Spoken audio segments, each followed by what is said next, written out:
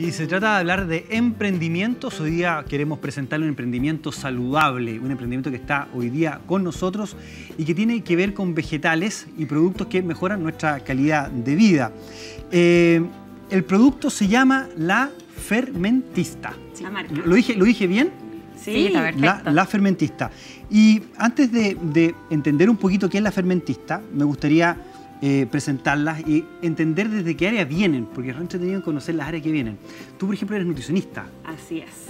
Sí. Sí, y trabajo mucho como desde la terapia de los alimentos. O sea, en el fondo, eh, los alimentos son medicina y fue así como me di cuenta que faltaba un poquito en torno a la salud intestinal, que hoy en día ya sabemos que es Sí. algo fundamental como para mantenernos saludables. Y ahí, en el fondo, la fermentista tuvo como sus inicios, por Vieron así esto. Trinidad Folker, quien está hablando, que es nutricionista, pero la acompaña también una odontóloga, Verena. Y tú vienes del área de la odontología, también del área de la salud, pero un área que uno dice, ¿qué, está haciendo aquí esta chiquilla? Sí, no, como que no tuviera tanto que ver. Sí, Verena Pero- Montesinos. Sí, no, pero tiene un montón que ver porque en realidad, bueno, al final uno atiende, uno piensa que atiende bocas, pero en realidad atiende pacientes completos. Exactamente, tal cual. Y pacientes que en general eh, toman mucho medicamento, muchos pacientes diabéticos, muchos pacientes hipertensos, o sea, es como el pack.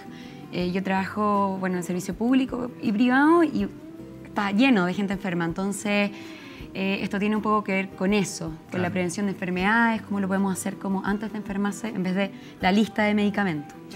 Pero cuando hablamos de vegetales, y hablamos de vegetales que fermentan, eh, mucha gente dirá, pero, pucha, así como, vegetales que fermentan, es como que los saco del refrigerador y los boto, o sea que no, que no me lo voy a comer.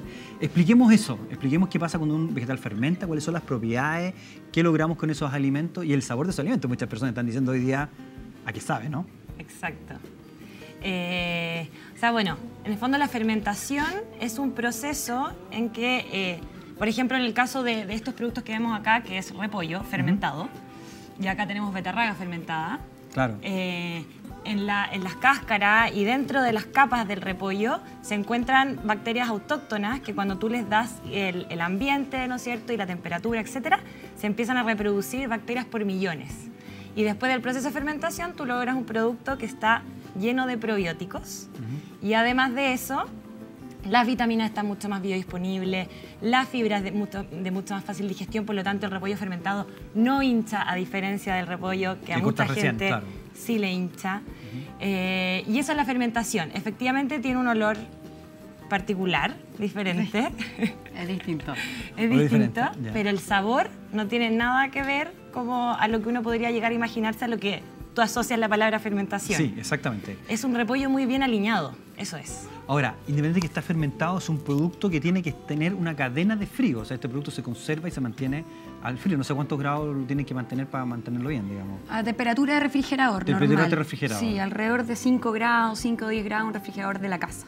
Correcto. Sí, y eso tiene que ver un poco porque esto está vivo. O sea, para que se entienda esto, jamás ha sido sometido a calor.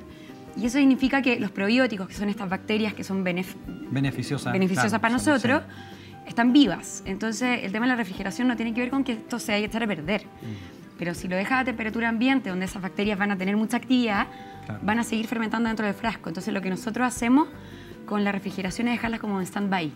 Correcto. Como ahí dormidas, pero vivas. En, en un punto de fermentación. Exactamente. Claro, porque en el fondo más bacterias, más gas, y en el fondo esto termina, hasta puede explotar el, el Exactamente. frasco, Tal cual, tal ¿No es cual. Sí.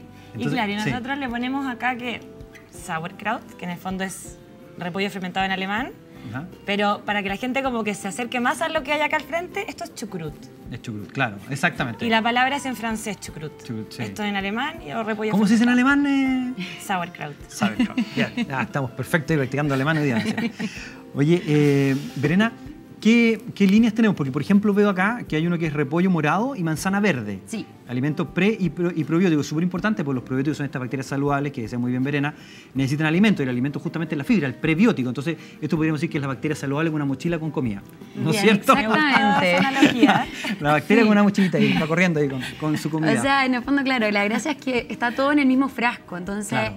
No tienes esa dificultad que tienes que encontrarle el alimento al probiótico. Tienes las dos cosas en el mismo frasco. En el fondo, la fibra del repollo vendría siendo el prebiótico, que es el alimento Sí. de la bacteria. Entonces, bueno, y tenemos esta línea de productos que hasta el día de hoy tenemos seis, seis productos, cinco que son en base a repollo, el chucrut que hablaba la Trini, Claro. y uno que no tiene repollo. Eh, que en el fondo es betarraga, cebolla. ¿Este, ¿El de adelante, este de acá? Exactamente. Ah, perfecto. Betarraga, cebolla y ajo. Sí. Ah, qué rico. ¿Cómo se consume un producto así? ¿Cuáles son las recomendaciones de consumo que tienen ustedes? De partida, eh, el tamaño está hecho que, para que la gente lo consuma diariamente. O sea, nosotros lo recomendamos desde lo preventivo, dos cucharadas al día. Eh, porque la idea es que los, los probióticos ingresen al organismo todos los días. Siempre estamos matando bacterias, pero nunca estamos reponiendo, porque está todo pasteurizado finalmente. Claro. Eh, y esto es súper versátil, porque es como tener una ensalada dentro de un frasco. Esto, esto lo puedo mezclar entonces, por ejemplo, con, lo- con mi ensalada. Exacto. O puede ser, ponte tú, no sé, para de repente un picoteo. O lo puedo mezclar Mira, con los alimentos. Algo que cuando partimos nos tiraron la idea para abajo, pero de verdad que ahora en nuestras redes sociales es muy famoso. Siempre hay alguien que tira para abajo las cuestiones. Típico. Pan integral ¿Y qué le, qué le decían para abajo? ¿Qué les tiran para abajo? es que A pan ver, ya, integral ya, pan integral. con palta Ya.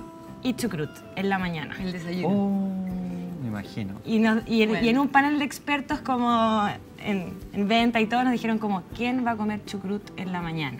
Como que- Y eso ahora es muy famoso en nuestras redes sociales. Ah, ¿sí? Muy pan famoso. integral, palta y el chucrut, que en alemán se dice Sauerkraut.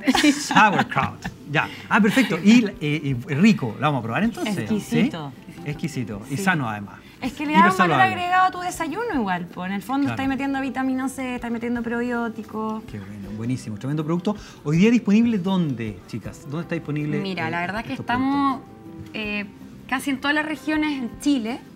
Hay algún punto de venta, nos faltan ahí un par, queremos llegar a estar en todas, pero estamos, eh, se meten en la página www.lafermentista.cl y ahí salen todos los puntos de venta. Estamos en varios en Santiago, varias comunas y varias regiones también. Ah, buenísimo. Y tenemos tienda online, pero solo con despacho en, en la región metropolitana. Por el tema de la cadena frío, ¿o no? ¿Por sí, eso? y porque en verdad el tema logístico es más complejo. complicado. Sí. Sí. Bueno, algún día vamos a tener un país que esté más conectado desde el punto de vista de lo que es el e-commerce, ¿no? A pesar que está Sí. despegando, pero que ser tan largo ahí nos hace que las puntas de nuestro país, algunas Es regiones, difícil. sea difícil y encarece mucho el producto, Tal lamentablemente. cual. Mm. Tal es muy cual. difícil. Hay una solución. Chile tiene mentes creativas. Vamos Sí, que se vamos puede. que se puede. Para que el e-commerce crezca en nuestro país, todos estos productos lleguen a todos los rincones de nuestra patria. Muchísimas gracias por estar hoy día con nosotros Gracias, en el programa. gracias. Disponible cuando tengan nuevos avances para que los vengan a comentar acá en el programa. No, Te pasaste, muchas No, gracias. feliz, feliz de estar con ustedes. Emprendimientos chilenos que hacen bien saludables en Doctor en Casa. Pausa y ya volvemos junto a ustedes.